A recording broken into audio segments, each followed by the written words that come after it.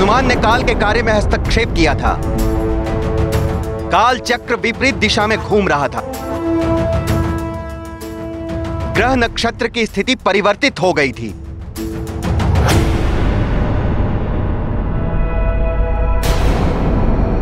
कालदेव जिन ग्रह नक्षत्रों की स्थिति प्रभावित हुई थी उन्हें मैंने यथावत कर दिया है। उनकी स्थिति को ठीक करके तुम क्षमा के पात्र नहीं हो जाते हो हनुमान।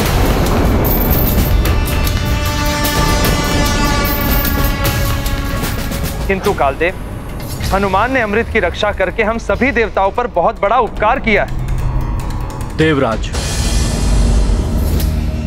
मैं कालदेव की बात का समर्थन करता हूँ। जो नियम तोड़ेगा, वो दंड का पात्र तो होगा ही। और यदि नियम का पालन नहीं करना है तो नियम बनाने की आवश्यकता क्या है?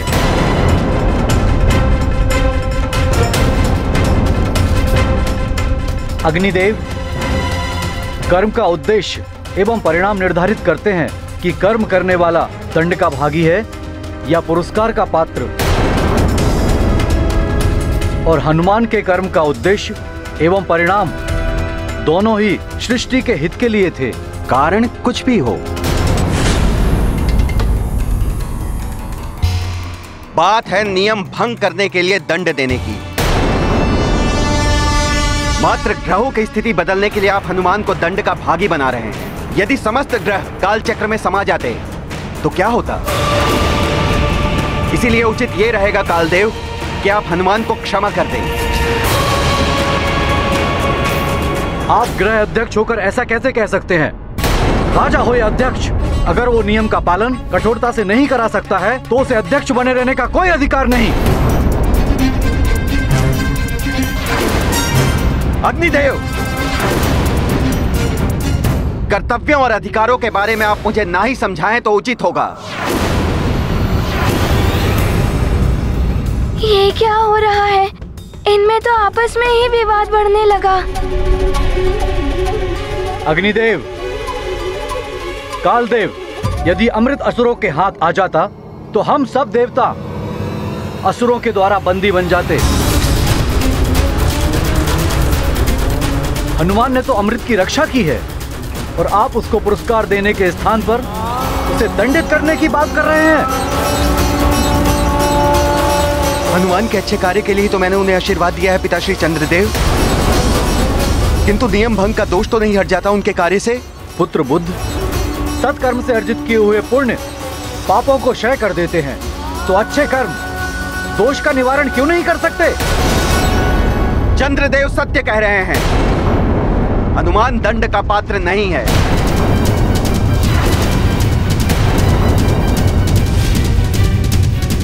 नियम तोड़ने का दंड हनुमान को मिलना ही चाहिए। मैं हनुमान को दंड देकर ही रहूँगा। नियम है तो यम है।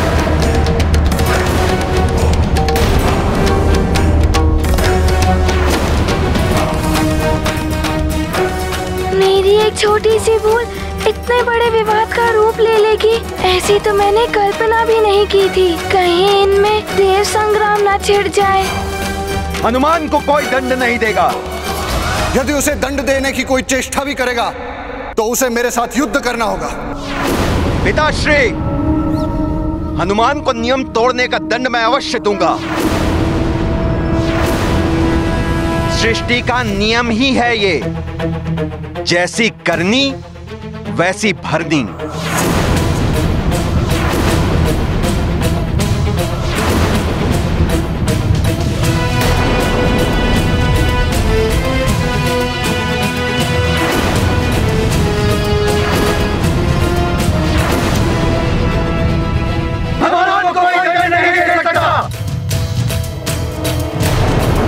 यदि इसके लिए मुझे अपने पुत्रों के विरुद्ध शस्त्र भी उठाने पड़े तो मैं पीछे नहीं हटूँगा।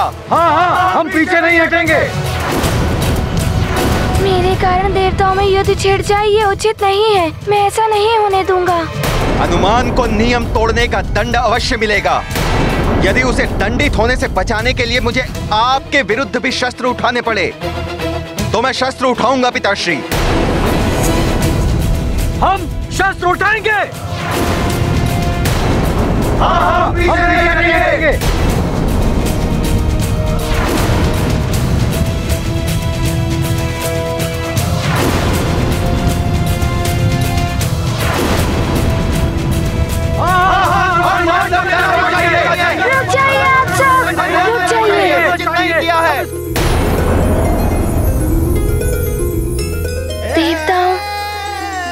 पृथ्वी लोक का एक वासी हूँ। छोटा सा बालक हूँ। मेरे कारण आप सब आपस में युद्ध मत कीजिए।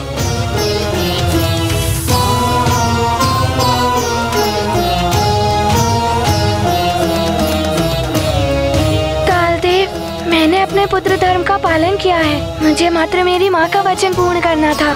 तो तुम अपनी माँ का वचन निभाने के लिए हम देवताओं के भी नियम तोड़ दोगे?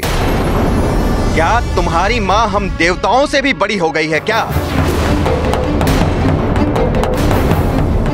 हाँ कालदेव।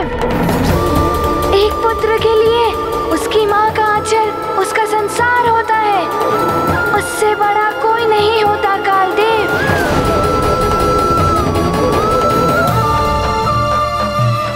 कालदेव, मेरी जननी देवी है मेरी माँ।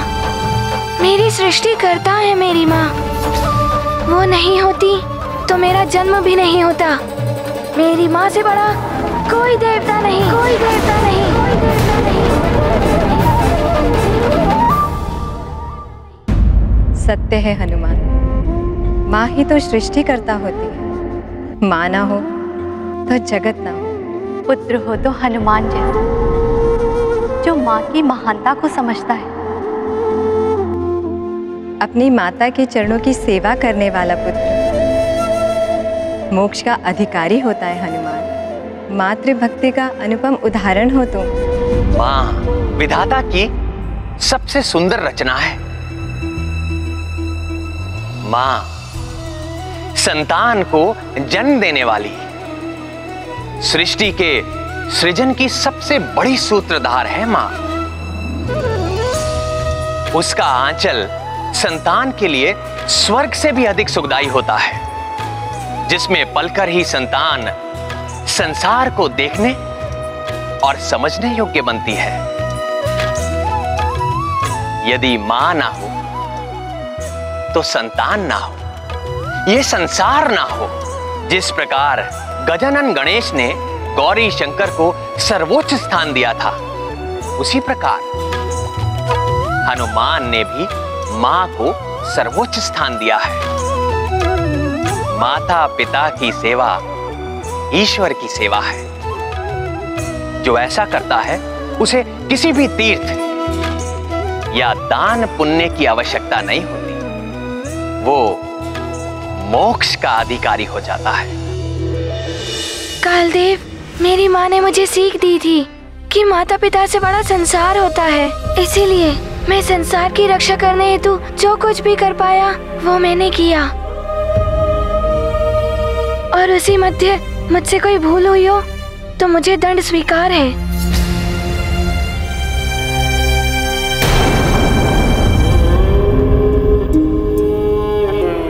सूर्यदेव, आप सब देवताओं ने मेरा पक्ष रखा। उसके लिए मैं आप सबका आभारी हूँ। किंतु मैं जानता हूँ, यदि मेरी माँ को ज्ञात हो गया कि उनके पुत्र के कारण समस्त देवताओं में युद्ध छिड़ गया है तो उन्हें बहुत दुख होगा।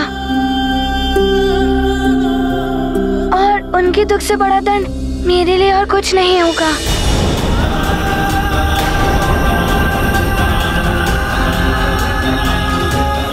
कालदेव, यही उचित होगा कि आप मुझे दंड दे दें। और इस विवाद को यहीं समाप्त कर दें। मैं दंड के लिए प्रस्तुत हूँ।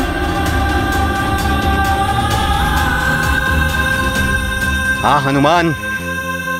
काल सभी का भविष्य गुप्त रखता है। समय से पहले किसी को भी ज्ञात नहीं होता कि काल कब, कहाँ, कैसे, क्या कर सकता है। तुम्हारा दंड भी तुम्हें तभी ज्ञात होगा जब तुम्हारा दंड पूर्ण होगा। अब जाओ। और अपने दंड पूर्ण होने की प्रतीक्षा करो। जैसी आपकी इच्छा, कालदेव, मुझे आज्ञा दें। मेरी माँ व्याकुलता से मेरी प्रतीक्षा कर रही होंगी। प्रणाम, कालदेव। प्रणाम, देवगणों।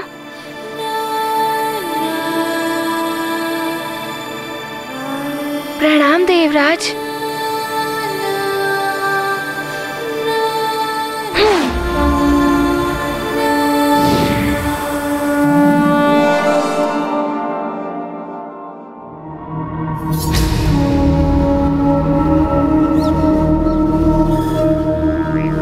मुझे भी आज्ञा दीजिए।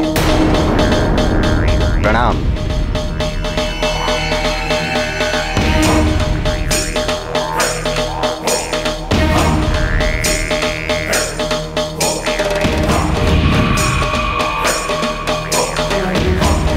देवादिदेव हनुमान के प्रति कालदेव की ये कठोरता उचित नहीं है। देवेश्वरी धूप जहाँ पातिक के लिए असहाय होती है वहीं संसार के लिए जीवन दायिनी शक्ति होती है। वृक्ष की छाया पथिक को सुखद प्रतीत होती है। वही छाया वृक्ष के नीचे उगने वाले पौधों के विकास के लिए बाधक होती है। अतः उचित अनुचित का दृष्टिकोण सबका भिन्न भिन्न होता है।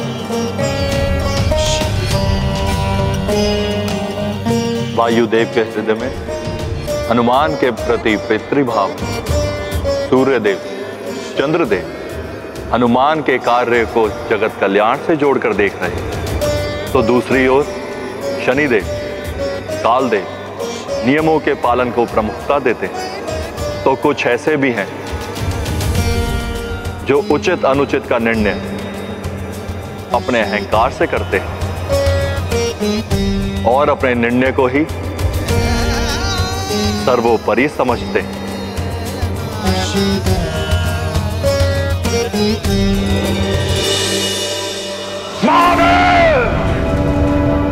उचित! उचित नहीं हुआ है, जो हुआ है।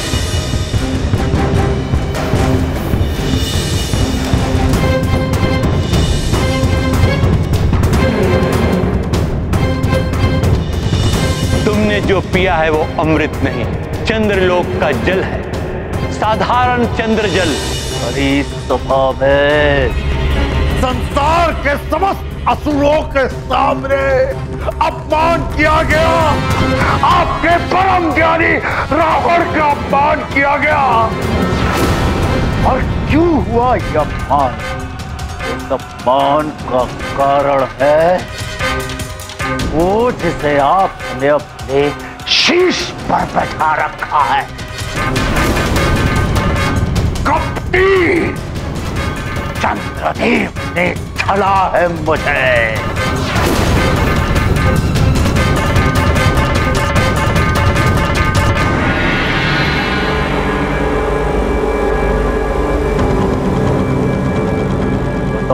कर फेंक दीजिए उस कपटी चंद्र को। अपने शीश से चंद्रशेखर महादेव।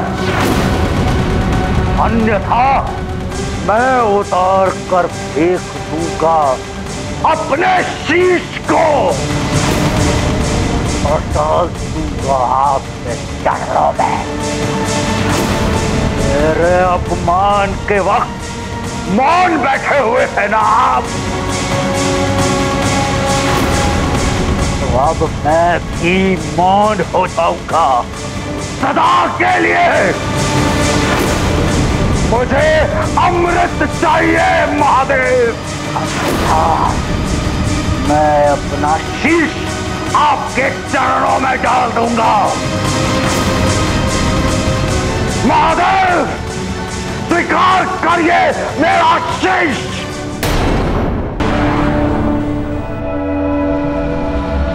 समय से पहले किसी को भी ज्ञात नहीं होता कि काल कब, कहाँ, कैसे, क्या कर सकता है। तुम्हारा दंड भी तुम्हें तभी ज्ञात होगा जब तुम्हारा दंड पूर्ण होगा। अब जाओ और अपने दंड पूर्ण होने की प्रतीक्षा करो। अच्छा होता कालदेव दंड के विषय में बता देते। ना जाने क्या दंड देंगे वो, किस रूप में देंगे। भवन के द्वार पर कोई है? कुछ देखा सा प्रतीत हो रहा है ये।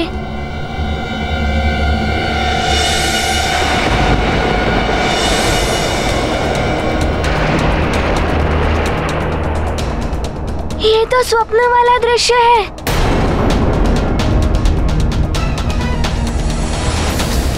सैनिक ये कार्य अति आवश्यक है। शीघ्र हो जाना चाहिए।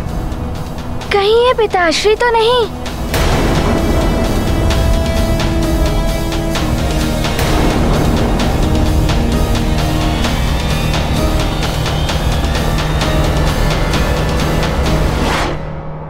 पिताश्री?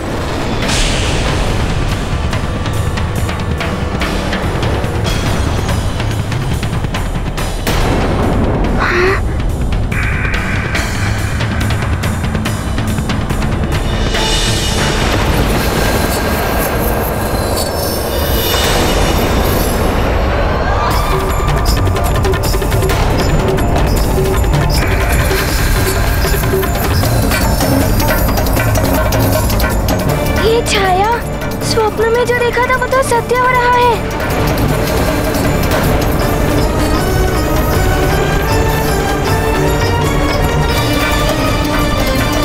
स्वप्न में ध्वज महल के ऊपर से गिरा था।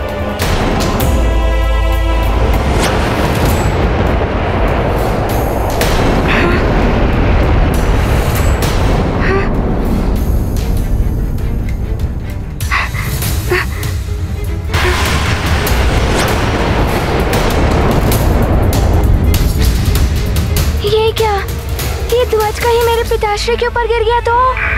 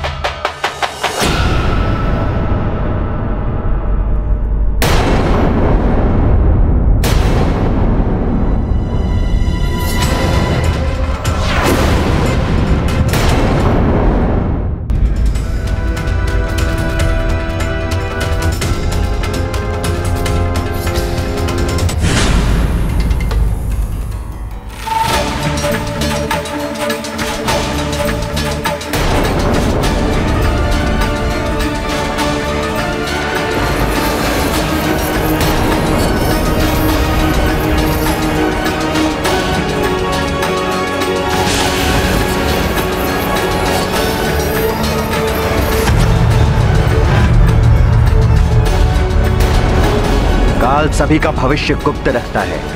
समय से पहले किसी को भी ज्ञात नहीं होता कि काल कब, कहाँ, कैसे, क्या कर सकता है।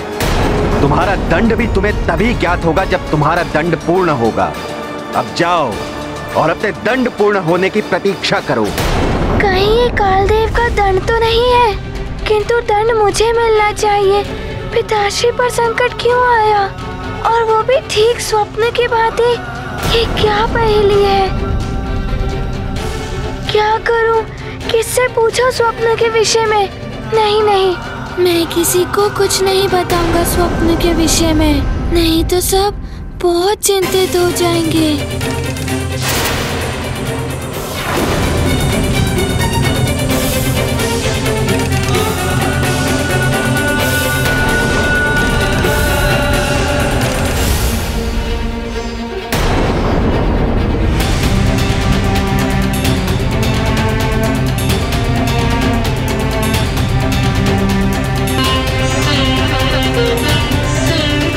हुआ पुत्र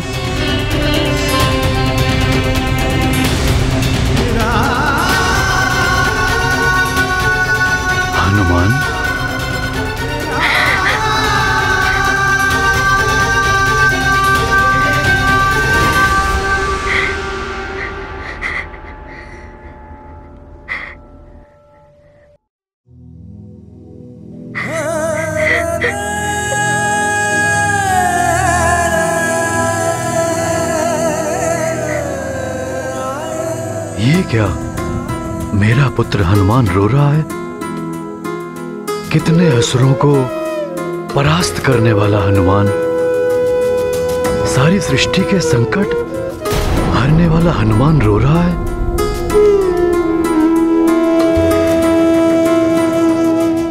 कहीं ये दुर्घटना किसी बड़ी अनहोनी का संकेत तो नहीं?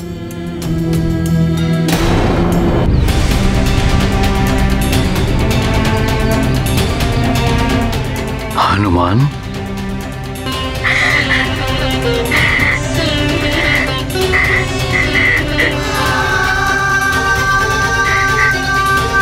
ये क्या? मेरा पुत्र हनुमान रो रहा है? कितने असुरों को परास्त करने वाला हनुमान? सारी सृष्टि के संकट हारने वाला हनुमान रो रहा है? पिताश्री, अपनों की पीड़ा अपनी पीड़ा से भी अधिक दुख देती है। यदि कुछ क्षण और विलंब हो गया होता तो?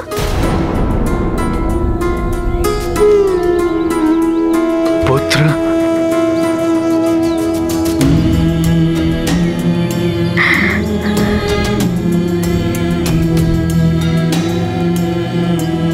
जिसका तुम्हारे जैसा पुत्र हो, उसे कुछ नहीं हो सकता, पुत्र हनुमान। देखो सकुशल हूँ मैं। अब कैसी चिंता?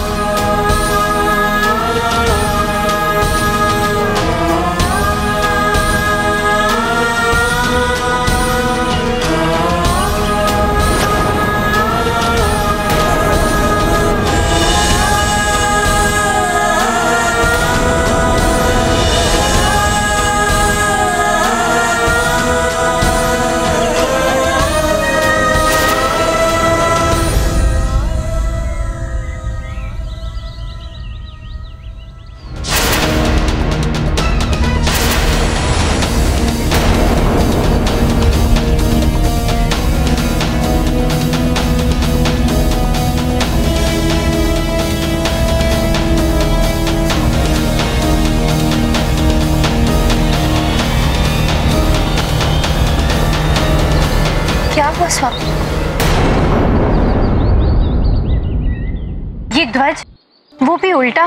ये तो बहुत बड़ा अपशकुन है। मात्र गिरा ही तो है। इसमें अपशकुन कैसा? इस प्रकार की घटनाएँ संकेत होती है भविष्य में होने वाले अच्छे बुरे समय का। इस राजकीय ध्वज का इस प्रकार उल्टा गिरना वो भी राजा के ऊपर। ये तो अशुभ संकेत है। भविष्य में होने वाली अनहोनी का। अंजना तुम छोटी छोटी बातों पे भयभीत हो जाती हो। ये तो मात्र एक संयोग था।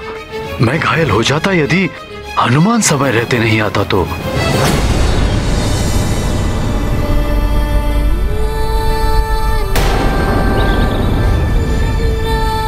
आओ हनुमान पिता पुत्र मिलकर निकालते हैं इस ध्वज को।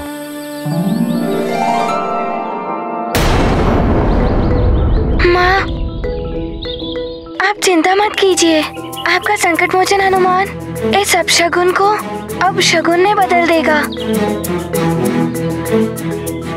आप अपने अश्रु पहुंचिए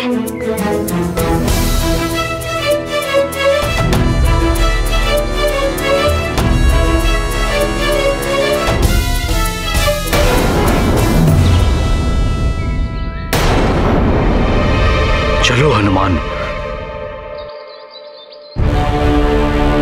ये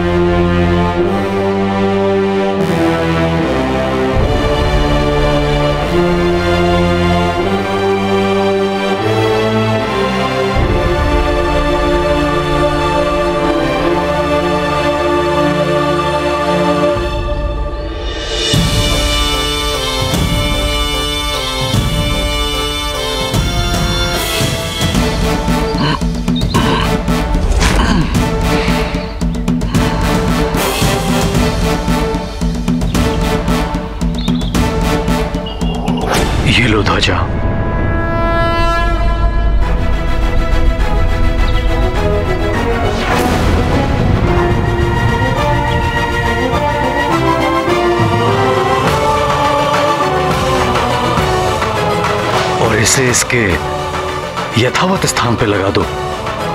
जी पिताश्री।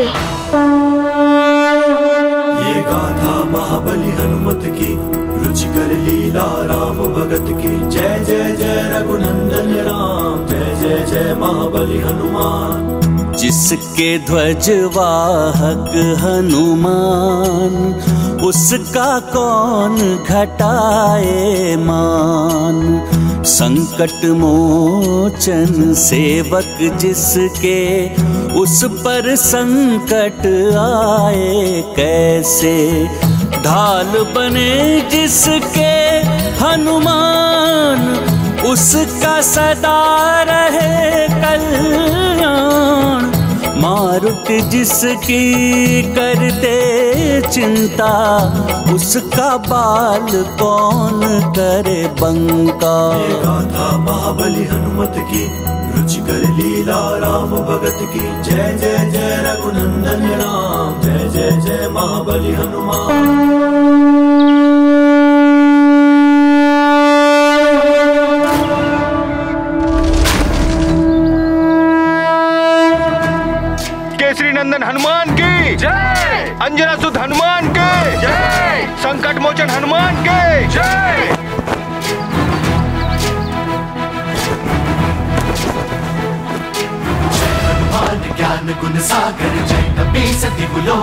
उजागर जय हनुमान ज्ञान गुण सागर, जय कपी सती गुलोक उजागर। दूत अतुलित बल धामा, पुत्र पवन सुत नामा महावीर विक्रम बजरंगी कुमति निवार सुमति के संगी जय हनुमान ज्ञान गुण सागर, जय कपी सती गुलोक उजागर। जय हनुमान ज्ञान गुण सागर, जय कपी सती गुलोक उजागर। जय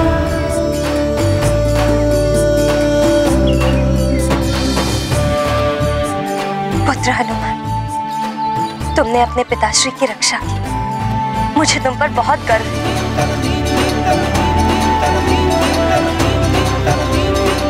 अरे हाँ ये तो बताओ वहाँ देव सभा में क्या हुआ? तुमने ग्रह नक्षत्रों की स्थिति ठीक की या नहीं? वो माँ मैंने ग्रह नक्षत्रों की स्थिति उनके स्थान पर स्थापित कर दी है। और कालदेव से भेंट हुई? हनुमान को नियम तोड़ने का दंड मैं अवश्य दूँगा। मैं दंड के लिए प्रस्तुत हूँ। हाँ कालदेव से मिला था। और मित्र हनुमान! हनुमान! मित्र हनुमान! तुम हो गए मित्र। मित्र हनुमान कुछ समय हमसे भी मिल लिया करो। चलो आज बहुत दिनों के पश्चात क्रीड़ा का आनंद लेते हैं। हो। तुम नहीं रहते हो तो क्रीड़ा में मन ही नहीं लगता। नहीं मेरा मन नहीं है। जाओ पुत्र। मित्रों के लिए भी कुछ समय निकाल लो। क्रीड़ा अच्छे स्वास्थ्य के लिए आवश्यक है। जी, पिताश्री।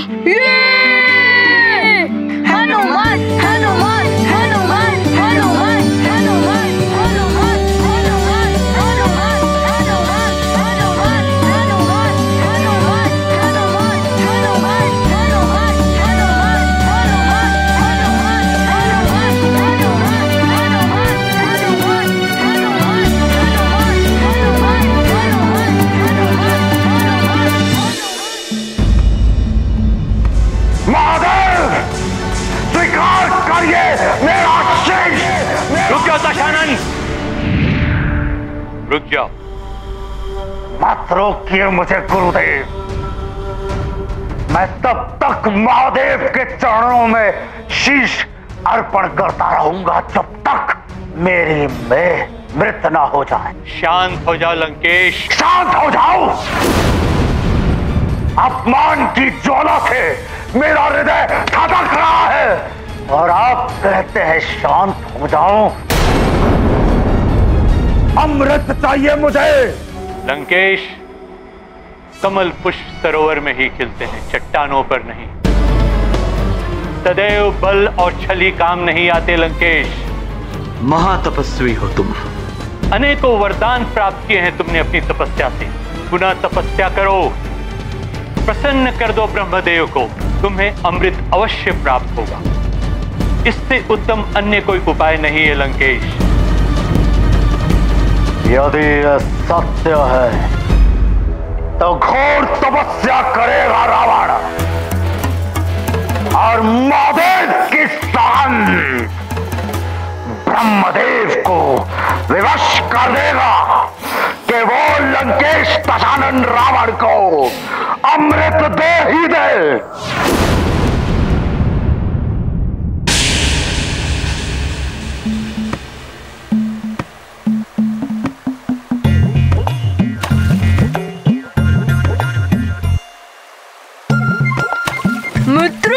अब तो बताओ कि हम कौन सी क्रीड़ा का आनंद लेंगे? कहो तो लुपा छुपी का खेल खेले? किंतु कंदूक प्रहार कैसा रहेगा? थोड़ा ज्ञान मुझसे भी ले लो। हम सब मलयुद्ध करें। हम भी तो बड़े हो गए हैं। आज हमारा मित्र हनुमान किन विचारों में खोया है? कोई समस्या है क्या हनुमान? मित्र, बताओ, कोई चिंता सता रही है क्या?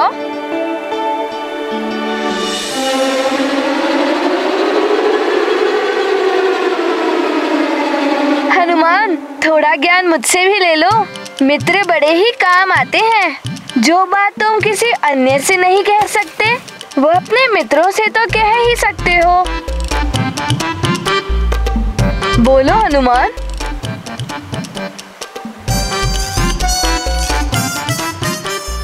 यदि हल होता तो मैं अब तक इस समस्या का निदान कर ही लेता। तुमने तो ना जाने कितनी समस्याओं को हल किया है। हो सकता है हम सब भी मिलकर तुम्हारी समस्या का हल निकाल लें। नील जैसा ज्ञानी महाराज जो है हमारे पास।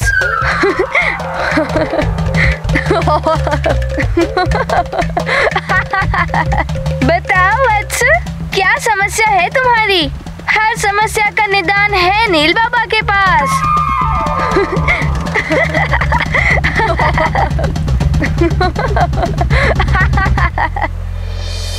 यदि मेरी माँ और पिताश्री को ये बात ज्ञात हो गई तो वो बहुत दुखी हो जाएँगे।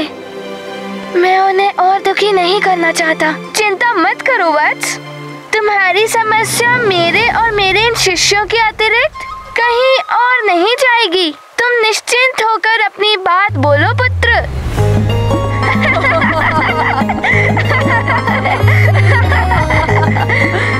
ज्ञानी बाबा, मेरी समस्या ये है कि मुझे दो स्वप्न आते हैं।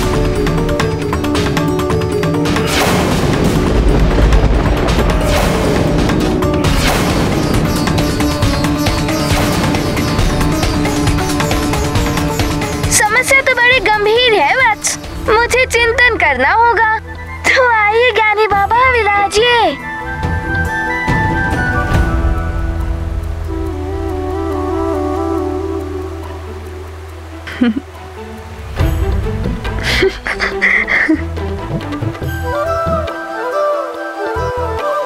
कुछ हल मिला ऋषिवर।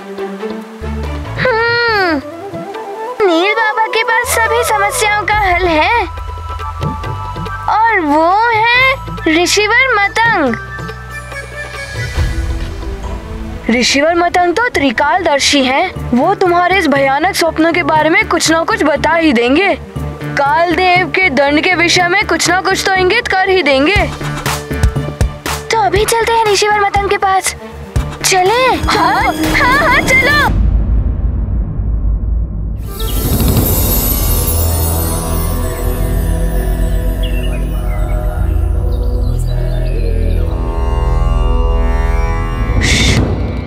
शांत किंतु ऋषिवर मतंग ध्यान मग्न है। उनका ध्यान भंग नहीं होना चाहिए। कालदेव ना जाने क्या दंड देंगे। मेरे स्वप्न का क्या अर्थ है? कहीं मेरे परिजनों पर तो कोई संकट नहीं है। मेरी दुविधा दूर कर दे ऋषिवर तो उचित है।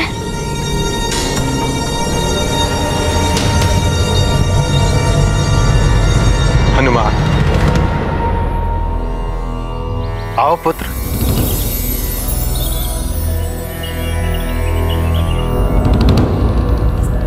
प्रणाम ऋषिवर। प्रणाम ऋषिवर। कल्याण हो पुत्र।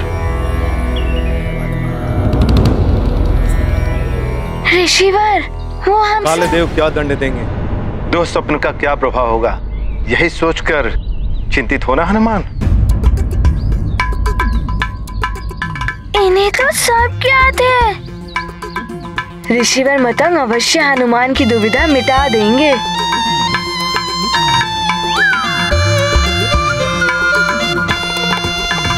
तुम्हारी चिंता अकारण नहीं है पुत्र हनुमान। स्वप्न कभी कभी भविष्य का दर्पण होता है। तुम्हारा स्वप्न भविष्य में आने वाले संकट का संकेत है पुत्र।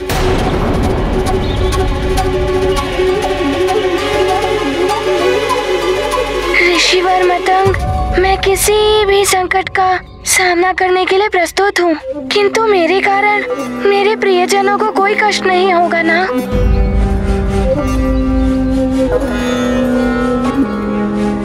ऋषिवर मतंग, आपका मोह मेरी और चिंता बढ़ा रहा है। बताइए ना, क्या छुपा हुआ है भविष्य के गर्भ में?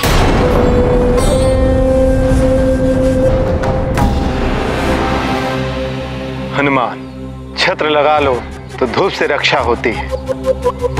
जल भंडारण करके चलो तो मरुथल भी पार कर सकते हो। पुत्र, समय रहते ही उपाय कर लोगे तो संकट से मुक्ति मिल सकती है। अन्यथा काल का दंड तुम्हारे लिए बहुत बड़े दुख का कारण बन सकता है। कितना भयंकर होता है काल का दंड। जिसका अनुमान भी नहीं लगा सकता है हनुमान। ये तो सत्य है महाराज कालदेव। किंतु आपने क्या सोचा है दंड के विषय में? चित्रगुप्त जी, आप भविष्य संहिता में देखकर बताइए कि हनुमान के परिवार में किसकी मृत्यु निकट भविष्य में होने वाली है।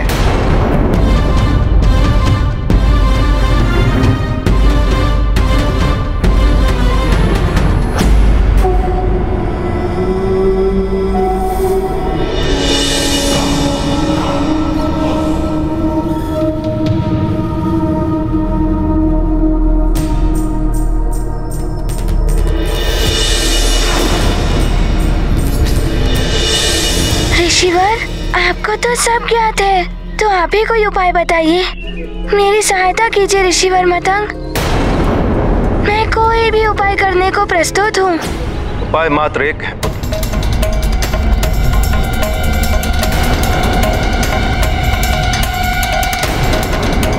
मृत्युंजय महादेव की शरण।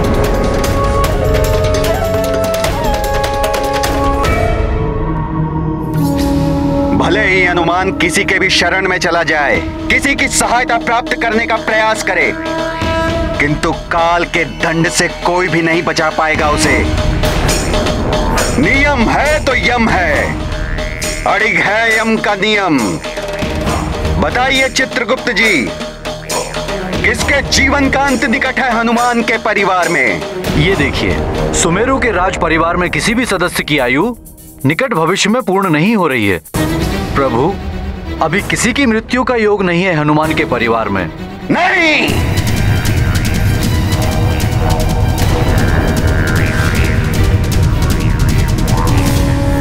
यदि मृत्यु योग नहीं है तो बनाना होगा मृत्यु का योग।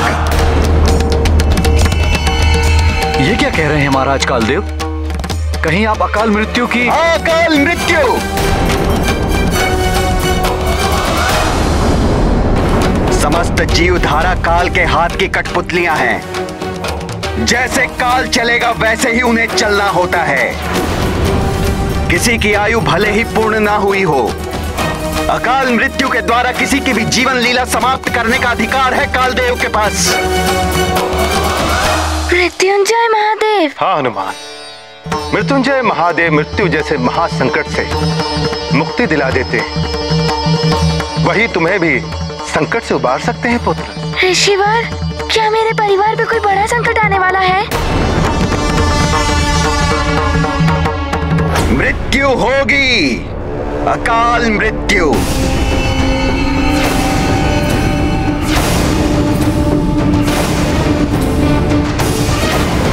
हनुमान के पिता की पिता की पिता की हनुमान के हनुमान के पिता के पिता के।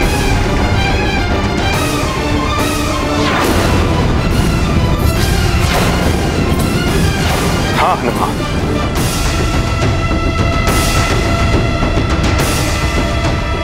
संकेत तो संकट के ही हैं।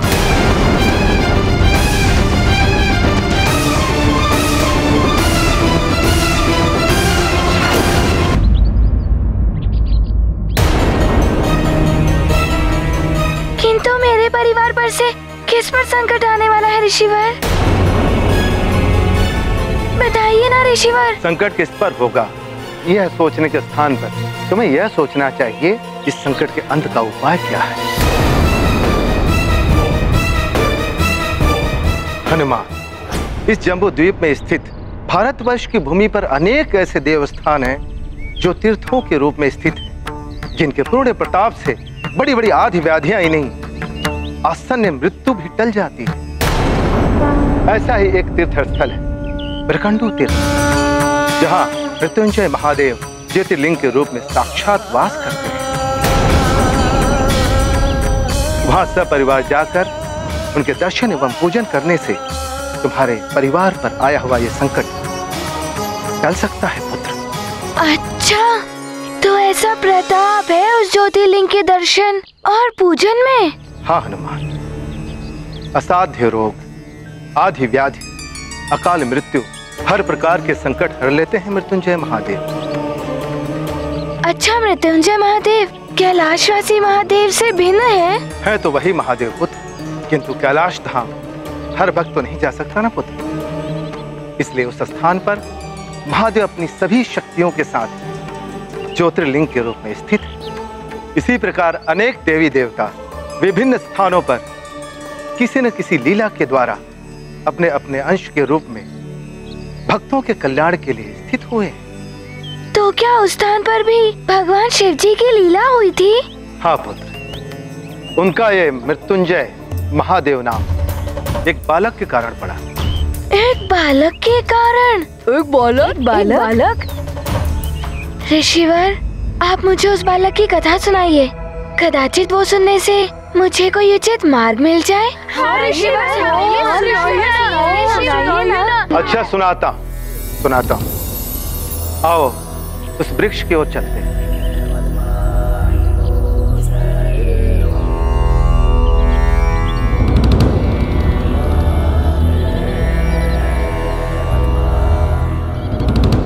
बालक आदि काल में एक बहुत बड़े तेजस्वी ऋषि थे।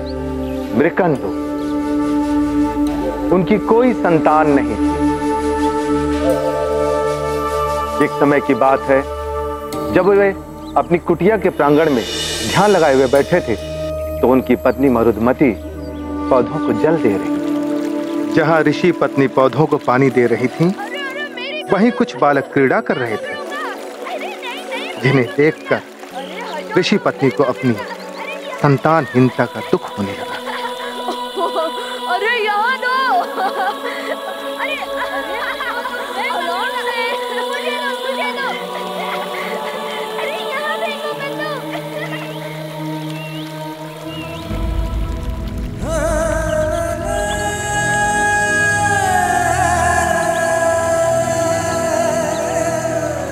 मरुदमती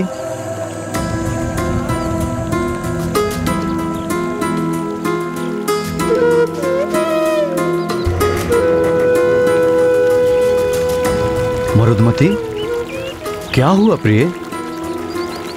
ये जल तो यूँ ही व्यर्थ में बह रहा है।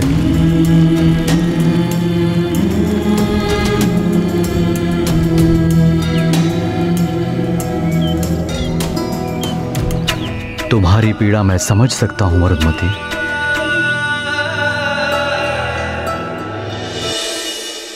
हे प्रभु, उस व्यर्थ बहते हुए जल की भांति ही मेरा जीवन भी व्यर्थ ही निकला जा रहा है। हे देवेश्वर, व्यर्थ होता है वो पौधा, जिसमें पुष्प ना खिले। कोई मोल नहीं ऐसे वृक्ष का, जिसमें फल ना लगे। क्यों दिया आपने मुझे ऐसा व्यर्थ जीवन, प्रभु? से तो अच्छा होता कि आपने मुझे ये जीवन ही नहीं दिया होता।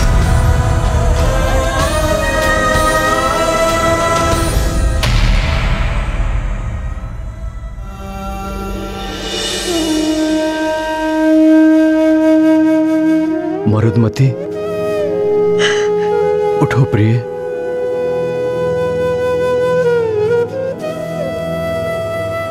मरुदमती, दुखी मत हो प्रिय। देखना, उन क्रीड़ा कर रहे बालकों की भांति। एक दिन हमारा भी बालक होगा, जो तुम्हारे सोने आंचल को अपनी किलकारियों से भर देगा। कैसे होगा? कब होगा स्वामी? इतने वर्ष व्यतीत हो गए। यही सुनते सुनते। अब तो आयु भी पार हो चली है। प्रिय, तुम देखना, ये महादेव हमारी बिगड़ी बनाएँगे।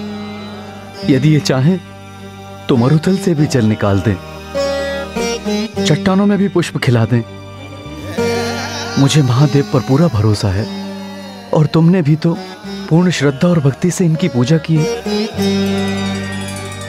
अब मैं इनकी प्रसन्नता के लिए घोर तप करूँगा।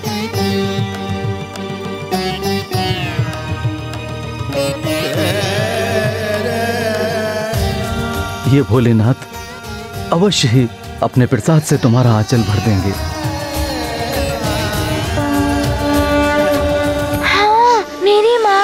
कभी कभी कहती है कि मैं भी भोले बाबा का ही प्रसाद हूँ। और फिर क्या हुआ? क्या भोले बाबा ने उन्हें संतान का वरदान दिया? हनुमान, तुम्हारे भोले बाबा तो सबकी मनोकामना पूर्ण करते हैं। उन्होंने ऋषि मृकंडू को भी वरदान दिया। किंतु वरदान सहजता से नहीं मिलता। उसके लिए उन्होंने वर्षों तक कठिन तपस्या की। वो भी बहती हुई झील में एक पाँव पर खड़े रह गए। एक पाँव पर? हाँ वर्षा धूप शीत कुछ भी हो उनकी तपस्या अनवरत चलती रही।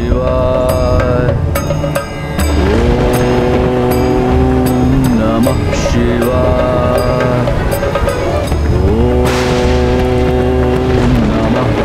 शिवाय।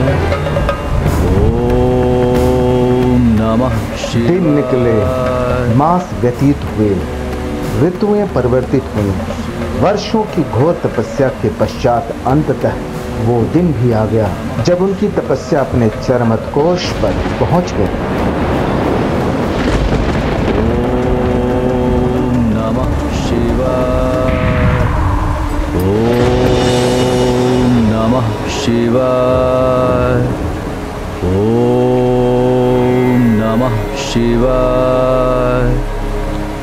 नेत्र खोलिए ऋषिवर मृकंडू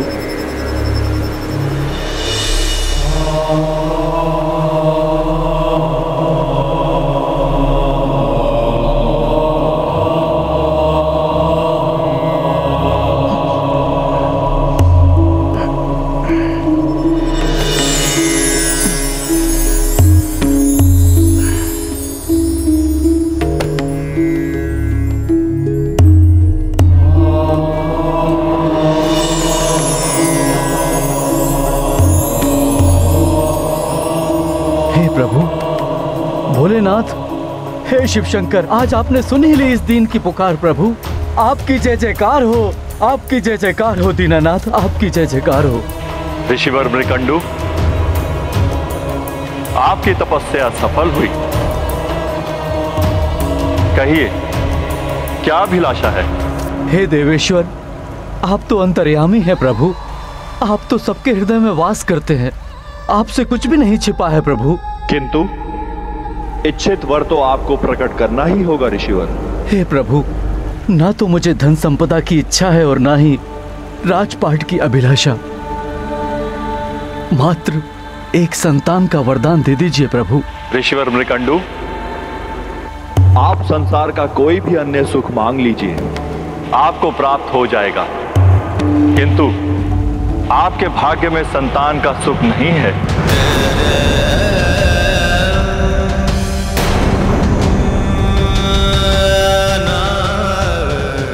आप तो सर्व समर्थ हैं प्रभु। किंतु यदि भाग्य की ही बात है तो उसे अपने कर्म और तपस्या से परिवर्तित किया जा सकता है प्रभु। मैं और घोर तप करूँगा भगवान। मुझे तपोफल के रूप में मात्र संतान की अभिलाषा है। आपको और तपस्या करने की आवश्यकता नहीं है। आप तपोफल के अधिकारी हैं। मैं आपको पुत्र प्राप्ति का वरदान भी दूँगा। किंतु किंतु किंतु क्या प्रभु? ऋषिवर, आपको दीर्घायु पुत्र एवं तेजस्वी पुत्र में से एक विकल्प का चुनाव करना होगा। दीर्घायु पुत्र चुनेंगे तो वो कदाचित तेजहीन हो, दुर्बल हो। तेजस्वी पुत्र चुनेंगे तो उसकी आयु कम होगी। क्या चुना ऋषिवर मृकंडू ने? दीर्घायु पुत्र या तेजस्वी पुत्र? अच्छा तुम सब बताओ, उन्होंने क्या चुना होगा? तेजस्वी पुत्र, जो विद्वान और अपने कर्मों से अपनी एवं अपने कुल की कीर्ति को बढ़ाए, जिस पर माता पिता को गर्व हो, या दीर्घायु पुत्र, जो बहुत लंबे समय तक जीवित तो रहे, किंतु अयोग्य हो, दुर्बल हो। बताता हूँ ऋषिवर। हर माता पिता अपने पुत्र को चिरंजीवी भव का आशीर्वाद देते हैं। इसलिए उसने मुकंडू ऋषि ने उन्हें दीर्घायु पुत्र का ही आशीर्वाद दिया होगा। हाँ, हाँ, चिरंजीवी भवः का आशीर्वाद देते हैं। तुम क्या सोच रहे हो हनुमान? मेरी माँ ने मुझे सदैव सीख दी है कि सत्कर्म और सद्गुणों से बड़ा और कुछ नहीं होता है। अपनी तेज और अपनी ऊर्जा से सबकी सहायता करो। मेरे पिताश्री ने भी मुझे सीख दी है कि भले ही पुष्प केवल एक दिन के लिए ही खिलता हो, किंतु वो अपनी सुगंध से सबको आनंदित कर देता है। अतः मुझे प्रतीत होता है कि स्वयं मृकंडू जी ने अवश्य तेजस्वी पुत्र की ही कामना की होगी। हनुमान तुम्हारा कथन सत्य है। ऋषि मृकंडू ने भी गहरे विचार और मंथन के पश्चात यही विकल्प चुना था। प्रभु तेजस्विता की आयु अनंत होती है। पुत्र यदि तेजस्वी होगा तो अल्प जीवन में ही उन्नति के चरम को स्पर्श कर लेगा। अपनी कीर्ति से जगत के लिए स्मरणीय बन जाएगा प्रभु। दीर्घायु पुत्र यदि तेजहीन है तो उसका जीवन व्यर्थ है प्रभु। उसके जीवन काल में ही जगत उसे विस्मृत कर देगा। हे प्रभु, मुझे तेजस्वी पुत्र की ही कामना है। तथास्तु। तेजस्विता ही सार्थक होती है। मैं भी अपने माता पिता का तेजस्वी पुत्र बनूँगा। मैं भी बनूँगा मैं भी बनूँगा मैं भी बनूँगा। तुम सब अपने माता पिता के तेजस्वी पुत्र बनना। किंतु पहले पूरी कथा तो सुन लो मित्रों। हम्म हम्म। फिर क्या हुआ ऋषिवर? फिर कुछ समय के पश्चात मृकंडू ऋषि एक पुत्र के पिता बन गए।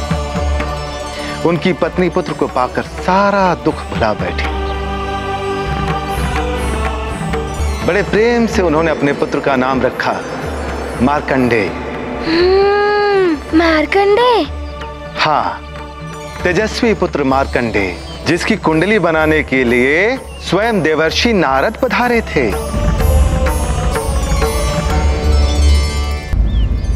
बालक मारकंडे तुम बहुत भाग्यवान हो। स्वयं देवर्षि तुम्हारी कुंडली बना रहे हैं।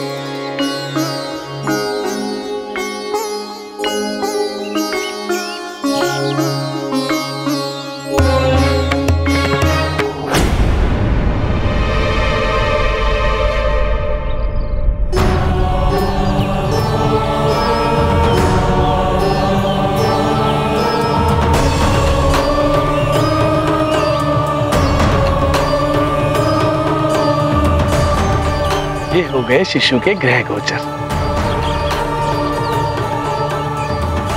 नारायण नारायण।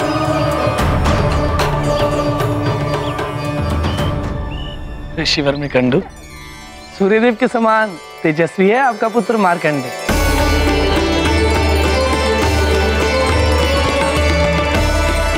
कार्तिक मुनियों की भांति ही विद्वान होगा ही हाँ देवर्षि इसका चौड़ा ललाट इसकी उभरी हुई ये नासिका इसके तेजस्वी होने का प्रमाण है। ईश्वर इसे दीर्घायु प्रदान करे।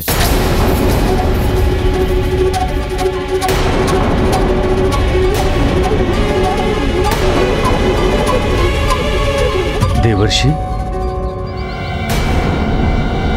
आपके मस्तक पर ये चिंता की रेखाएँ?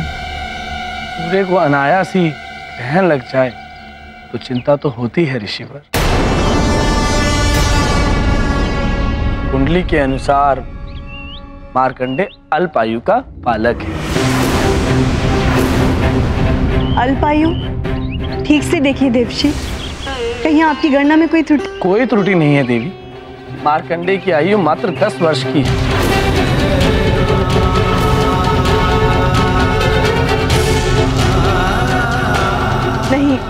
महादेव ने स्वयं मुझे माता का सुख प्रदान किया है। वो इतने शीघ्र मेरा आचरण सुना नहीं कर सकते। मेरे प्रभु इतने निष्ठुर नहीं हो सकते। महादेव इतने निष्ठुर नहीं है मरुदमती हमारे भाग में तो संतान का सुख था ही नहीं। वो तो ईश्वर की कृपा है जो हमें ये आशीर्वाद प्रदान हुआ। किंतु किंतु क्या स्वामी? महादेव ने मुझसे कहा था दीर्घायु अथवा तेजस्वी पुत्र में से मुझे किसी एक को चुनना होगा। और मैंने मैंने तेजस्वी पुत्र को चुना।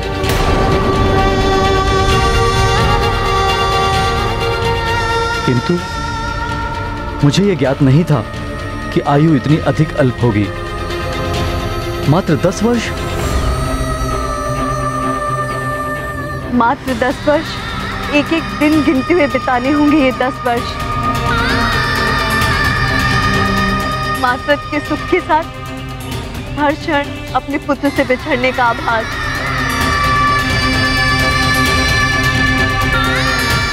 ये वरदान है या अभिशाप?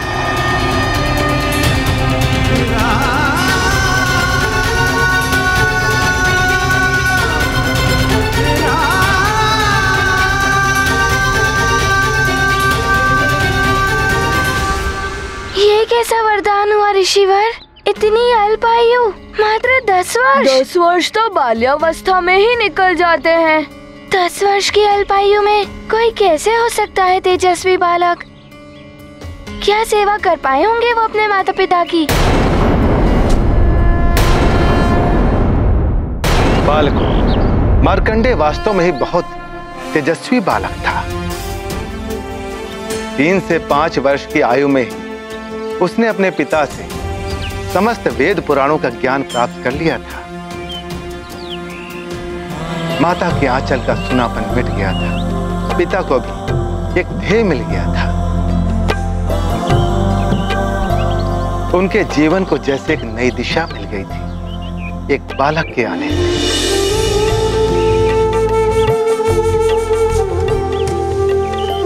एक और मार्कंडे का ज्ञान दिन प्रतिदिन बढ़ता जा रहा था। तो वहीं दूसरी ओर उनकी माता, मरुदमती की ममता भी पुत्र के लिए बढ़ती जा रही थी।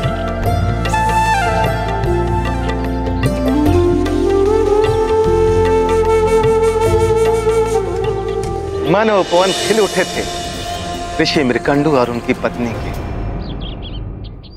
पाँच वर्ष का मार्कंडे अपने माता पिता की सेवा में लगा हुआ था। दौड़कर पुष्प लेकर आता पूजा के लिए। यज्ञ की वेदी सजाता। माँ से पहले ही भागकर जल लेकर आता। अपनी माता पिता की सेवा में उसे बहुत आनंद आ रहा था।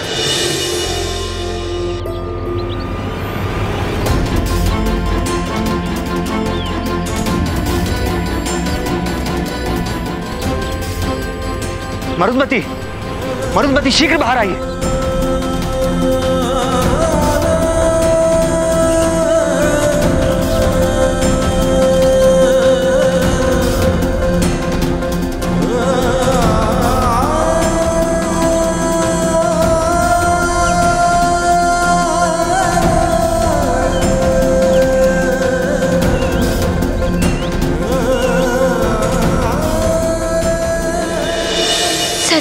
ऋषिवर, अपने माता पिता की सेवा करने में तो मुझे भी बहुत आनंद आता है।